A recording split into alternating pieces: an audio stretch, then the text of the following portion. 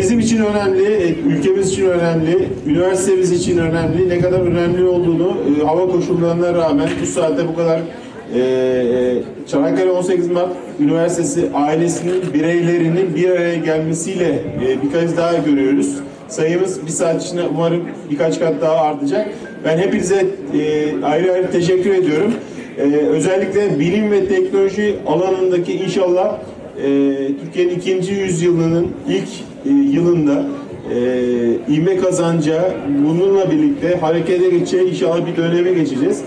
e, başlatacağız. Üniversite olarak da bu noktada ARGE noktasında ARGE sizleri öğrencilerimizi ARGE noktasında harekete geçirmek, ARGE'nin paydaşı olarak da öğrenciyken sizlere o ekosistemi katmak için çeşitli çalışmalar yürütüyoruz.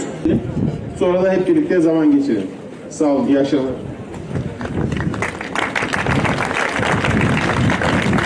Malzeme bilimi uzmanlarına ihtiyacımız var.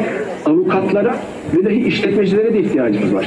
Ee, dolayısıyla o hayallerini, o kendilerini gerçekten Deney yapacak nasıl başardık? Ee, Kendisi e, çok kez e, pratik ve teorik eğitimler aldı bizlerden. grupta completed ne çok uzunca bir süreden beri bu fırlatmaları canlı olarak izliyormuşçasına heyecanlıyım. the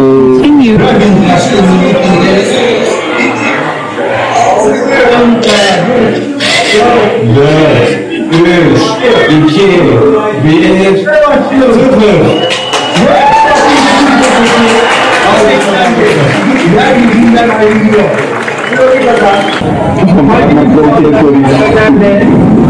Gerçekten gurur verici bir olay bu. SpaceX'in New Dragon kabini içerisinde onları taşıyan altın topraktaki hızla yükselen şey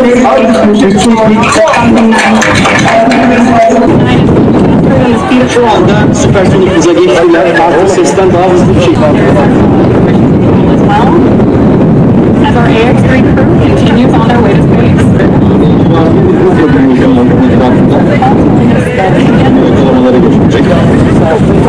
Gerçekten söylediğiniz gibi bizim için çok tarihi bir gün. Önemli bir güne şahitlik etmek için burada öğrenci arkadaşlarımızla, hocalarımızla, üniversite yönetimimizle birlikte e, bulunmak istedik. E, bir hayal gerçekleşiyor. E, ileride bizim için yani bugünün önemi çok büyük olacak ve ileride e, belki bizler için değil ama gençlerimiz, öğrencilerimiz şu anda yetişenler için bugün hatırlanacak ve bu onlar için bir milat gibi e, misyonlarını ve vizyonlarını e, bununla birlikte çok gelişeceğini düşünüyorum. Tabii ki tüm Türk milleti için önemli bir andı. Benim de okuduğum bölüm dolayısıyla ben de ekstra ilgileniyordum. Ve uzun zamandır beklediğimiz bir şeydi. İnşallah en kısa sürede daha ileri adımlar atarız. Bir Türkiye ilk defa gitmesi için büyük bir adım. Yani sonuçta uzaya çıkıyoruz. Ya bence ya ben uzayla ilgilendiğim için bunu hani iyi bir şey olarak gördüğümden dolayı geldim buraya bu saatte. Normalde bu saatte buraya gelmezdim. Evden izlerdim. Yani yurttan izlerdim. Benim için ya gayet yani büyük bir şey olduğu için Türkler için. O yüzden bunu izlemeye geldim.